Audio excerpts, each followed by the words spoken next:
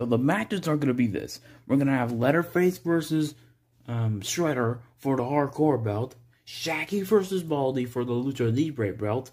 The Bat Boys and the and Bebop and Rocksteady for the tag team titles. And we're gonna have a pole in a soul match. Winner takes all. It's against the United States Champion Box and the Intercontinental Champion, Mikey. They're both their titles are gonna be on the line. But the one fight everyone wants to see is Freddy Krueger versus Junkrat for the next rematch of the World Championship belt. You have remember that Junkrat came out of freaking nowhere and slashed him out. Now he's trying to get out of the dang thing. He's in the ring and he's ready to show off. Heck yeah, baby! I'm the champion, and Freddy Krueger can't do nothing to me!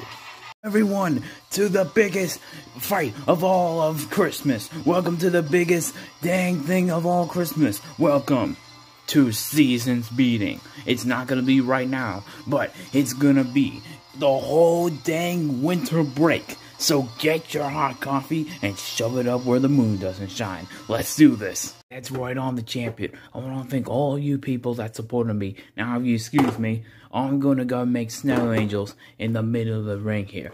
Wait a minute, hold up! Freddy Krueger with the sleeping now. He's laying the virtual smackdown on everybody in the ring. Big boots like Michelangelo. He's him in the ring, and then boss, arm drag, and a cougar clutch. You think you can take over this land? I'm the rightful champion.